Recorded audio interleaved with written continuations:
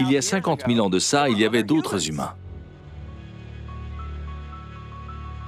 Comment se fait-il que nous soyons la seule espèce humaine restante? Pourquoi sommes-nous toujours là alors que les autres, qui avaient eux aussi de gros cerveaux, une culture et des aptitudes linguistiques, ont disparu Je crois qu'on est devenu plus gentil. Je pense qu'on est la seule espèce humaine qui ait vraiment appris à mieux coopérer à l'intérieur de nos groupes. Mais on a aussi développé cette capacité à nous montrer extrêmement hostiles et cruels dans certaines situations.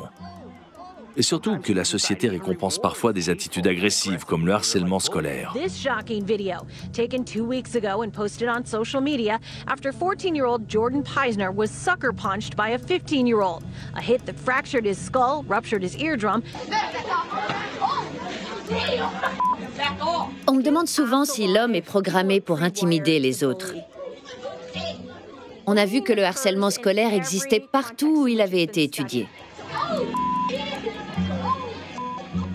Ça arrive partout dans le monde. Et ce qui est frappant, c'est que les taux de prévalence sont très similaires. Environ 30% des jeunes sont harcelés de manière ponctuelle en milieu scolaire. Et entre 7 et 10% le sont implacablement tous les jours. Cela suggère que ce comportement pourrait trouver son origine dans notre histoire évolutive. Jusqu'à très récemment, l'opinion dominante était que le harcèlement scolaire était un rite de passage, que c'était quelque chose qui était pratiqué dans les cours de récréation et que ça rendait plus fort. Et la seule raison pour laquelle ce n'est plus dans l'air du temps de penser cela, c'est que des enfants se suicident à cause de ça.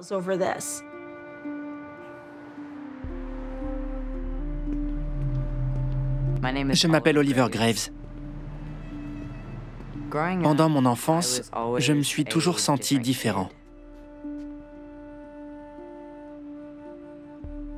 Je déménageais souvent et je n'arrivais pas à m'intégrer.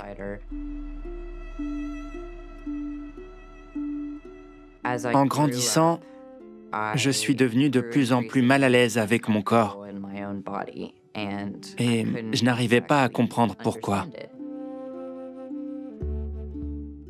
Quand je suis entré au lycée, je me suis documenté sur les personnes transgenres et j'ai appris ce que c'était exactement d'être transgenre. Je me suis rendu compte que c'était précisément ce que je ressentais. Une fois que j'ai fait mon coming out, on m'a poussé dans les couloirs, on m'a battu, je me suis fait traiter de PD, de travelo, de Gwyn. La liste est tellement longue. On pourrait écrire un livre.